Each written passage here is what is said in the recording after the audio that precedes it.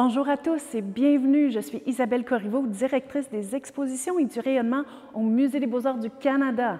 Cet événement promet d'être pétillant. Finalement, nous voici, le moment tant attendu où nous célébrons virtuellement l'ouverture de l'exposition Le Canada et l'impressionnisme, Nouveaux horizons. It's my pleasure to welcome you to this exciting virtual vernissage and the homecoming of Canada and Impressionism, New Horizons. I'd like to acknowledge that the gallery is situated on the unceded, unsurrendered traditional territory of the Algonquin Anishinaabe people. To begin this evening, I'd like to invite Elder Verna McGregor from Kitigan Zibi Anishinaabeg for the opening blessing. Elder McGregor.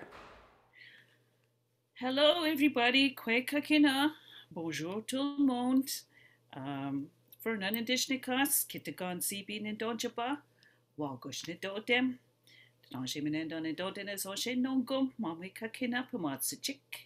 Mnia Mazanate Sechikan.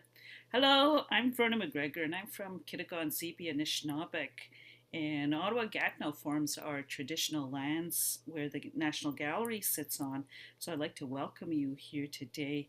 Uh, although we're virtual, we're still virtual. So um, I'm very honored to be here because um, I was thinking about this role of Impressionism. For us, uh, Impressionism or the art was very different. Uh, we were always on the land, so for us, our art also was part of was very functional. So when I, I was trying to get my head around this Impressionism, and then uh, what I learned was that, and I'm learning too, it's an accurate depiction of the environment showing the lifestyle using lighting of that time. And uh, what I also learned from the great National Gallery employees, workers, is that uh, the Canadian version of Impressionism was also led by nine women. Uh, and that was very rare in that time period, too, as well. So they were innovators, and they were conceptualizers. And I was thinking about that because uh, for the world, we went through the age of industrialization. Now we moved into the world of um, technology, so we're in the age, the information age. And then I ran into a researcher who said, we're in the information age, but we're also moving into the age of conceptualization because we as people were bombarded with so much information. And so the people that the innovators now are the ones that can conceptualize and bring together all that information. And so I said, that's what Impressionism plays a role with too. And that's just my um, observation. So, really, what we do too, as well, is art is grounding. And so, I lit a smudge here today to send you good, good energy um, and to enjoy this Impressionism exhibit too.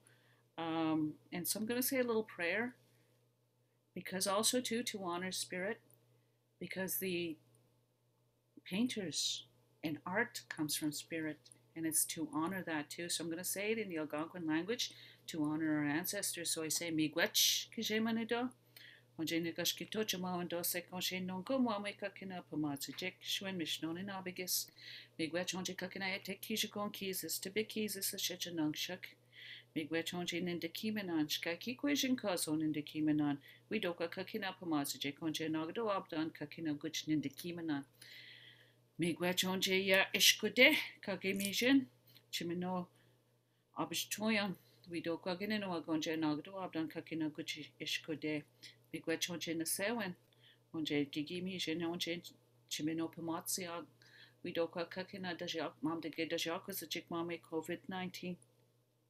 Miigwechonje kakina nibi, nibi punksing, CB, Saigon, Kichikagam, ZB, ZB ansak.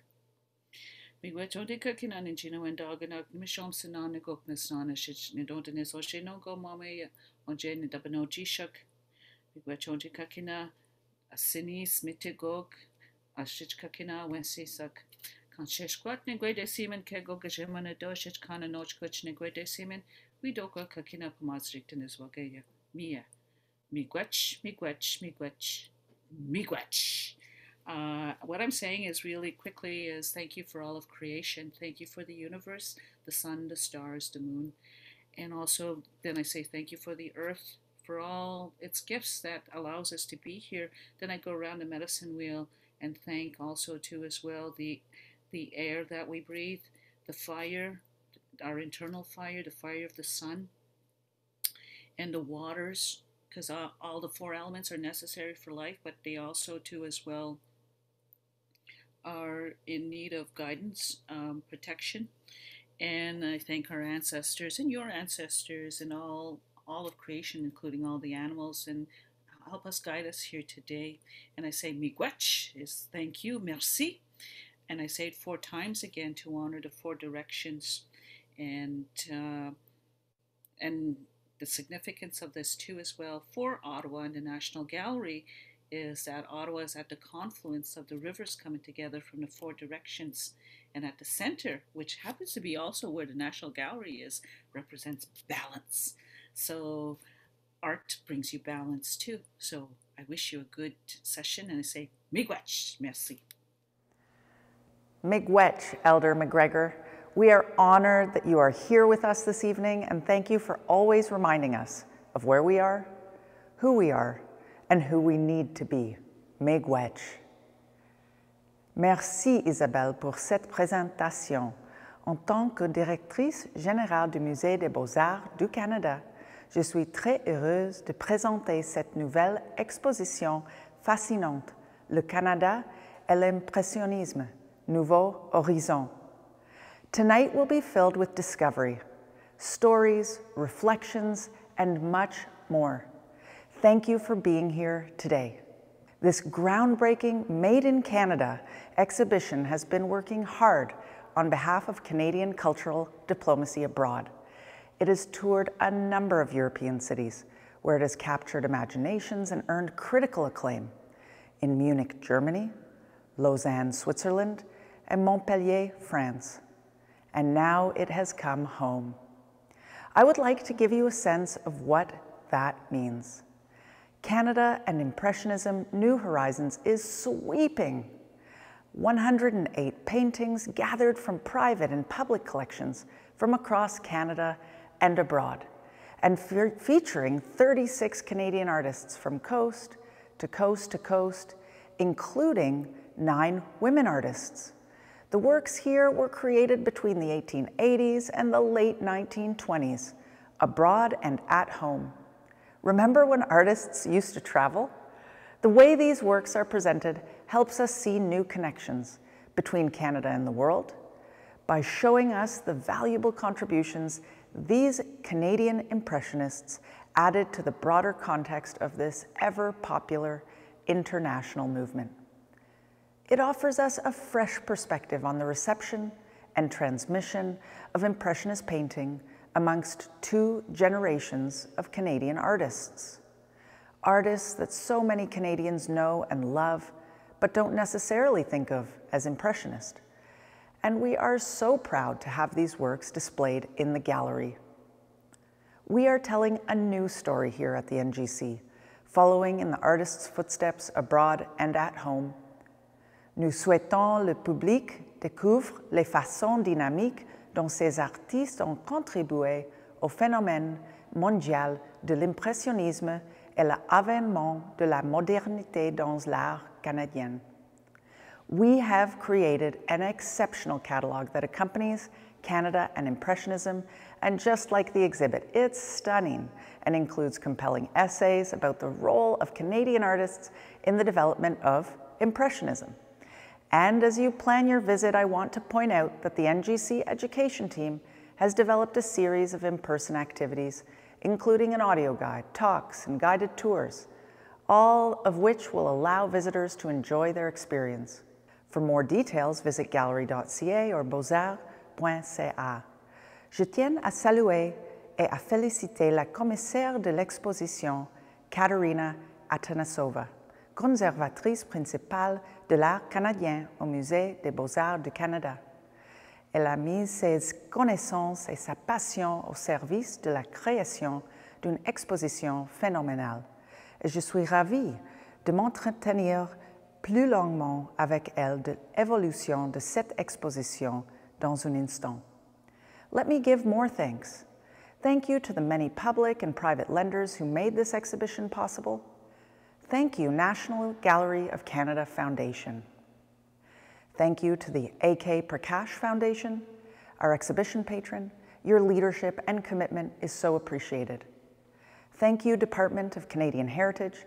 Your support has been invaluable to allow Canadians from gallery to gallery to explore these transformative artists. And to the many other generous donors and distinguished patrons of the National Gallery of Canada Foundation, thank you. Now, please welcome Anne Bowman, Chair, National Gallery of Canada Foundation. Welcome, Anne. C'est un honneur de me joindre à vous virtuellement pour célébrer l'ouverture officielle de l'exposition Canada et l'impressionnisme, Nouveau Horizon, qui fait son grand retour au Canada, son pays d'origine. Along with the board of directors, I extend a warm congratulations to Dr. Sasha Suda, exhibition curator Katerina Atanassova, and the entire curatorial team of the gallery for achieving such an outstanding presentation during a period of extended COVID challenges. Bravo. Canadian Impressionism was made possible by a group of passionate Canadian philanthropists who saw in this exhibition a brilliant opportunity to showcase the versatility and talent of Canadian artists who made a meaningful contribution to the Impressionist movement. A profound thank you to the AK Prakash Foundation for its extraordinary leadership and support of the exhibition. As well, our exhibition partners, the Pierre Lassonde Family Foundation, the Donald R. Sobey Family Foundation, and Power Corporation of Canada. Merci mille fois. I'd also like to sincerely thank the distinguished patrons of the National Gallery of Canada, many of whom were lenders of works of art to the exhibition. Les mécènes distingués, euh, famille canadienne, passionnée d'art euh, et donateurs du musée qui ont créé un fonds qui a permis également d'appuyer l'organisation de cette exhibition Uh, nous les remercions sincèrement pour leur vision et leur philanthropie. And now it's my pleasure to welcome Katerina Atanasova, Senior Canadian Curator and Exhibition Curator. Bienvenue. Dear friends of the National Gallery of Canada, bonjour à toutes et à tous. C'est un grand plaisir de vous présenter aujourd'hui le Canada l'impressionnisme Nouveaux Horizons, organisé par le Musée des Beaux-Arts du Canada. First of its kind, our exhibition contributes to a missing chapter in the global history of Impressionism by bringing in the spotlight Canadian men and women from coast to coast to coast. Cette exposition ouvre la voie à une nouvelle perspective sur la réception et la transposition de ce mouvement artistique mondial. Ici, à Ottawa, vous pourrez admirer pour la première fois 108 œuvres d'art issues de plusieurs collections publiques et privées et réalisées par des peintres canadiens respectant la parité homme-femme. In seven thematic groupings, we follow our Canadian Impressionists from the city to the countryside, at the water's edge, or beyond France, to locations as far away as North Africa and the Caribbean. The subject, constantly redefined by the dynamic movement of light, air, and atmosphere, varies from distant views of the landscape to outdoor figure studies to portraits, even nudes. Nous suivrons les Canadiens dans leurs explorations de la campagne, de bord de mer et des lieux généralement associés aux impressionnistes français, tels que Barbizon, la forêt de Fontainebleau, Grès-sur-Loing, Moret-sur-Loing et bien sûr en Bretagne et en Normandie. Among the first Canadians to arrive abroad, we see familiar names such as William Brimner, William Blair Bruce, James Wilson Morrice, Marc-Aurèle de Foy Suzor-Coté, and Maurice Cullen. We also meet some less familiar names such as James Barnsley, Henri Beau, Arthur Dominique Rozaire, and many others. Women Impressionists like Laura Muntz, Florence Carlyle, Mary Bell, and Helen McNicoll not only sought out an art training abroad, but savored the opportunity to paint across Europe and thus gain professional recognition, independence, and freedom to create. Lorsque ces artistes sont rentrés au pays, une question s'est posée. Quelle était la réalité au Canada? Et que devaient faire ces artistes différemment pour s'adapter, évoluer et laisser un héritage? Their main challenge was the different climate. Life advanced slowly in the prolonged winter season. It was difficult to imagine it being a transient moment. Yet, the multiplicity of winter scenes included in this exhibition demonstrate powerfully that winter had no equal to any other Impressionist subject. In fact, it was during this period that winter, that essential Canadian experience, entered the pantheon of international art. J'espère que notre exposition permettra de révéler cette période extraordinaire de l'art canadien. Je vous laisse être juge et vous demande simplement de savourer ces œuvres remarquables. Bonne visite et bon voyage. Thank you, Katerina, for this great tour of the exhibition, which will be on view until July 3rd. We look forward to welcoming audiences in person. Vous êtes sans doute curieux d'en apprendre plus sur la conception de l'exposition, les personnes impliquées et la résonance pour les visiteurs canadiens. Sasha and Katerina will now share the genesis of the exhibition. À vous, Sasha et Katerina. It's so great to be here with Katerina Atanassova to celebrate the homecoming of this amazing exhibition, Canada and Impressionism, after having been in the making for several years and then traveling across Europe throughout the last couple of years, pre and during the pandemic. I wonder, Katerina, what you can say about how it feels to be in this space right now, surrounded by these works. I think it's thrilling there's such a great sense of relief and joy to see this exhibition finally in Ottawa. We are ready to celebrate its triumphant return after a very successful tour in Europe, uh, as you pointed, Sasha, in Germany, in Switzerland, and in France. Uh, despite of the pandemic, this exhibition really enjoyed uh, uh much critical acclaim and attention abroad, and we're only hoping that this will be the beginning of a wonderful conversation in Ottawa. Well, one thing that the show does for me is really celebrate this notion of travel, this connection between North America and the European continent, something that we haven't been able to enjoy really in real time or real life throughout the last couple of years. So for me, that feels really poignant and relevant in the moment and a bit of an escape for me, to be honest. And I know that that's one of the really important points that you're making in the exhibition. And maybe you can tell us a little bit about why it's important to make these connections and about how this is different from understanding Canadian art history um, in the past. Yeah, indeed, this period is quite remarkable in many ways. It was really important for the evolution of Western art in general because this was probably the most open, the most globally embracing uh, period in uh, Western art, but also uh, for the settlers' art in Canada, it was important because this was a period where Canadians really venture abroad.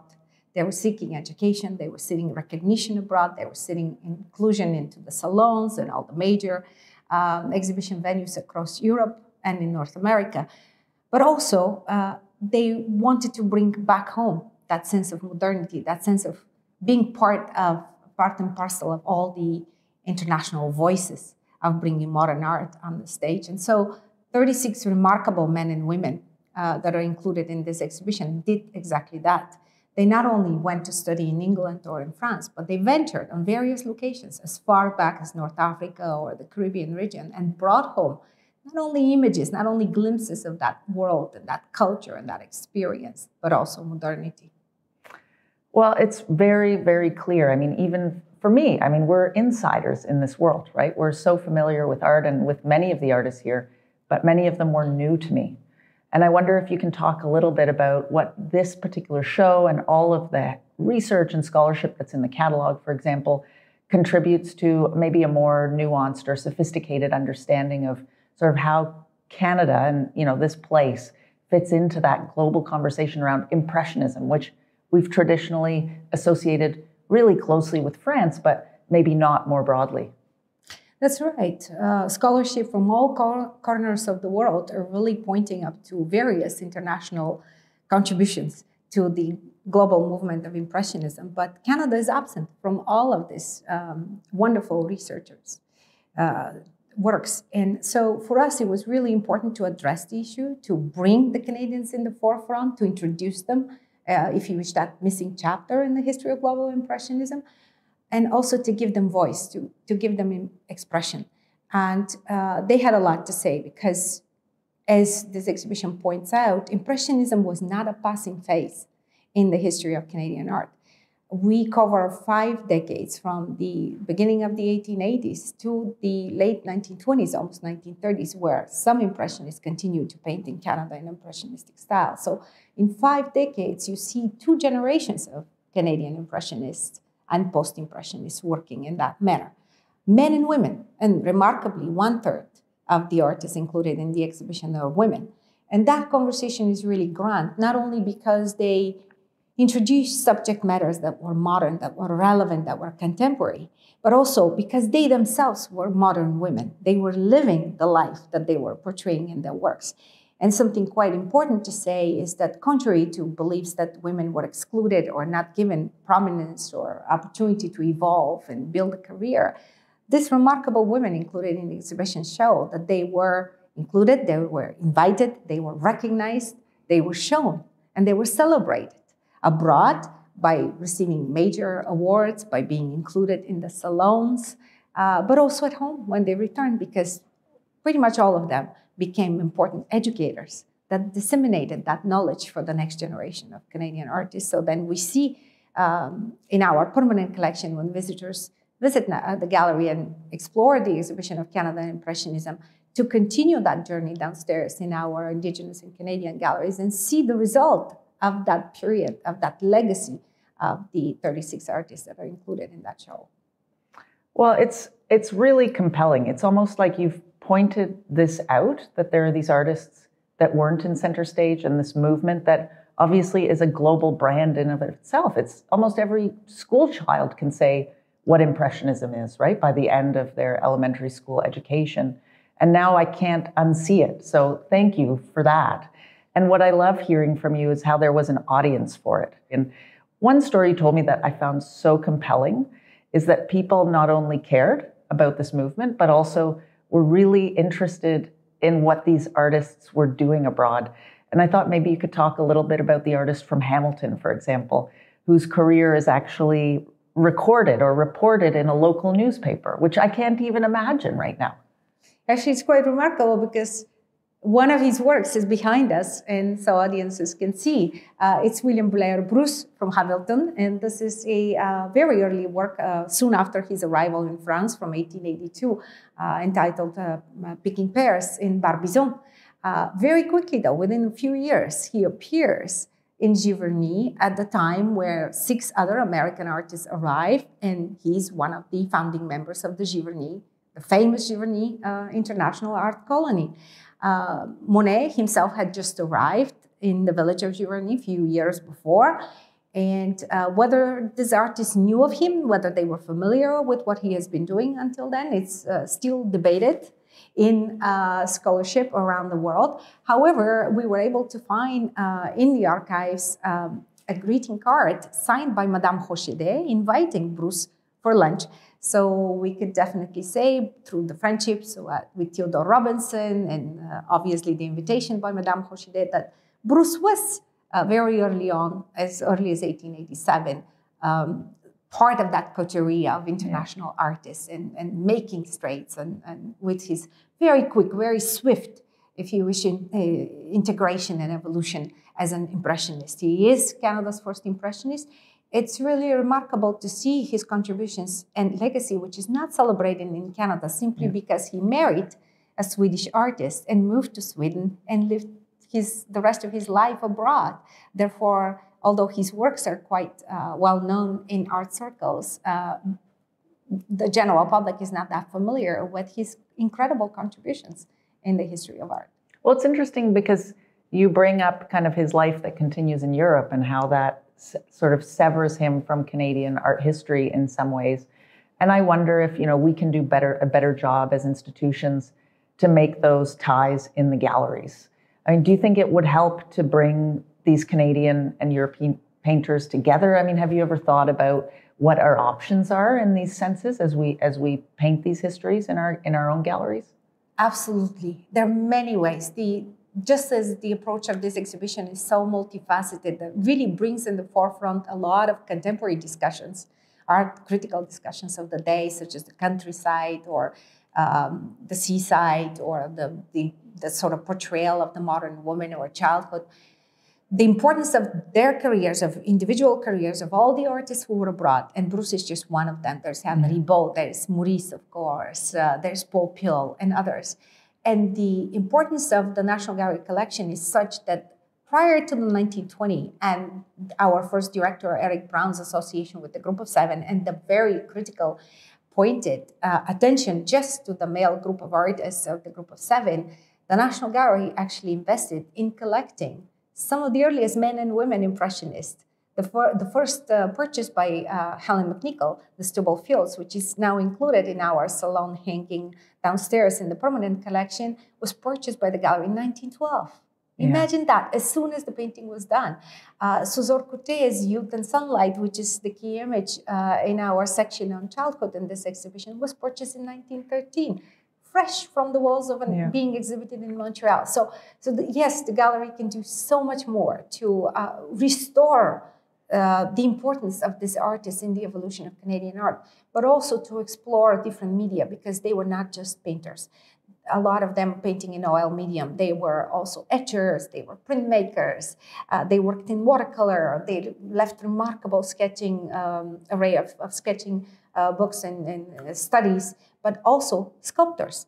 Uh, Coté left an incredible amount of work, and a number of other sculptors like Hébert in uh, La Liberté, also a remarkable uh, addition to that period of looking at light and how light really affected the retina of the, uh, the artist portraying a particular scene or a subject. I mean, there's there's a lot we could dig into um, being sensitive to time, I guess I'd ask one more question, and and it's a big one, and you can take it from any angle. You know, the the show traveled for quite a while, and it was on the road, and I know what a close relationship you had with all the curators at the different institutions, and that you were there in person to see how it was received. And I wonder if you learned anything new through their eyes or their minds in terms of reflecting back to Canada and to you in your role as senior curator at the National Gallery of Canada what this art means more generally to them, but should be part of our own uh, understanding of it as well. Oh, thank you. That's an amazing question. I learn every day. I think we all learn every day new things, and that's why art is so remarkable because it opens so many conversations. And we are at a particular moment in time when we actually are more inclusive and, and, and, looking at art from various different angles. Each curator and each director of the institution, because directors were just as equally involved as the curators in the hanging and all the curatorial shaping, uh, they appreciated the fact that we left the, the exhibition a little bit more fluid. There's this gentle, very steady, but gentle curatorial presence behind the scenes, so to speak. The themes are there, but it allow um, for a different grouping. It allows for a different adaptation. And so each country, um, knowing their, their audiences, what the interests are, chose something specific to focus on. For example, in Munich, um, the focus was really modernity and that sort of transition in the 1920s to Beaver Hall and Group of Seven and modernism. They even asked for additional works to be included from our collection so that they can emphasize. And so the Group of Seven was really the last room that uh, audiences could experience this transition into just the empty, pure landscape, the bold colors, and the, the more decorative patterning in nature that the group of seven and Tom Thomson are so well known for. In Switzerland, the women was absolutely an amazing topic for them. And um, along with the subject of winter, which is really the Canadian contribution in that uh, sense, uh, but the presence of women, and as the director, Dr. Sylvie Wuhrmann, pointed out at the opening remarks, uh, Switzerland does not really have a single woman in that period. Uh, professional woman that can be celebrated as that. So that meant a lot to them. And the fact that women did not just paint feminine, so called feminine subjects like maternity, motherhood, and rearing children, and, and just children at play, that women tackle landscape, that women really went beyond what we expected them to do, uh, beyond the interior scene, beyond the comfort of the studio and the home, and went outdoors. Uh, and then uh, in France, of course, um, it was kind of a remarkable uh, because uh, the French curator really wanted to include works uh, by Canadian artists in French collections. So they added more works by borrowing from other French institutions, and uh, predominantly Morrice, because Morrice was very well connected and collected in France.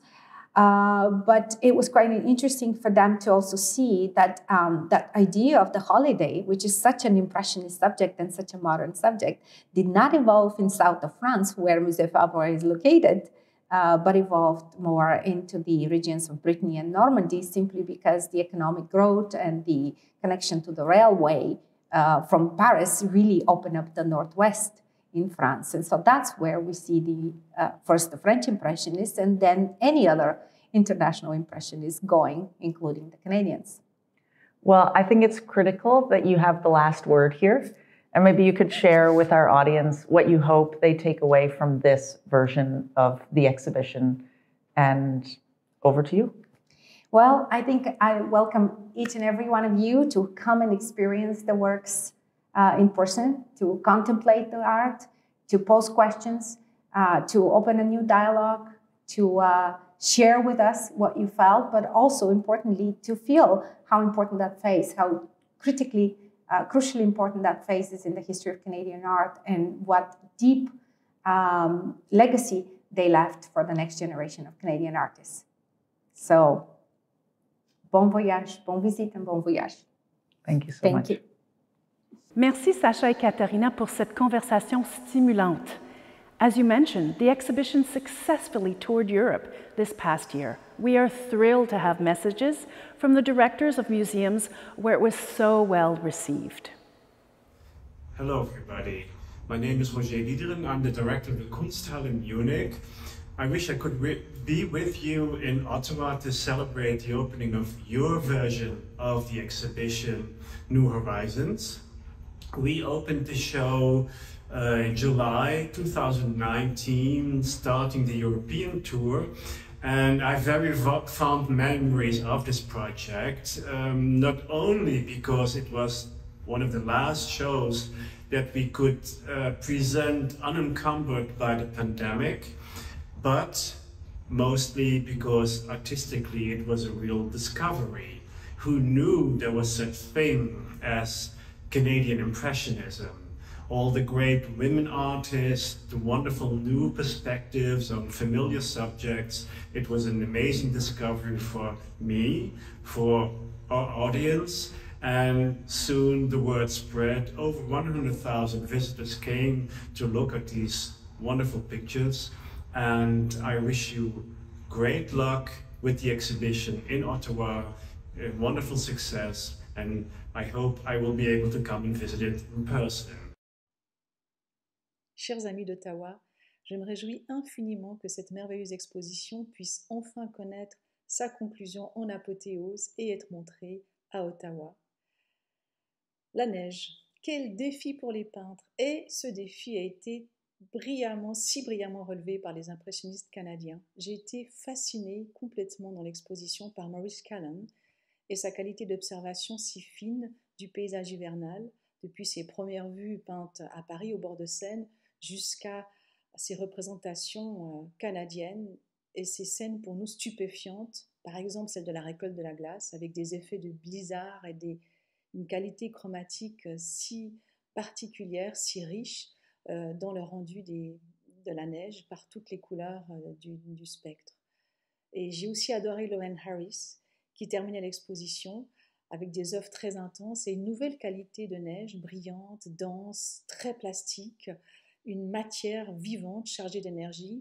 Et, cela m'a, à vrai dire, donné très envie de poursuivre notre exploration de l'art canadien et notre belle collaboration en montrant cette fois à Lausanne une exposition consacrée au groupe des sept. Voilà, le message est lancé.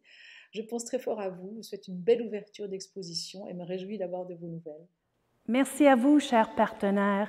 And now I'd like to turn it over to Sasha Suda, Director and CEO of the National Gallery of Canada, for closing remarks. Merci, Miigwech, and thank you everyone for joining us. We know that art can build bridges, spark conversations, and help communities connect and reconnect. I thank all of you for joining us, and we cannot wait to welcome you in person to this exhibition. Art awaits us all. Gallery.ca. J'aimerais féliciter toutes les équipes qui ont rendu possible cet incroyable projet. Et merci à vous, cher public, pour votre présence lors de cet événement et de venir célébrer avec nous. Once again, thank you everyone for joining us. Information about this exciting exhibition can be found at gallery.ca. And we'd love to hear your feedback, and you can always contact us at info at gallery.ca. Thank you. Merci tout le monde.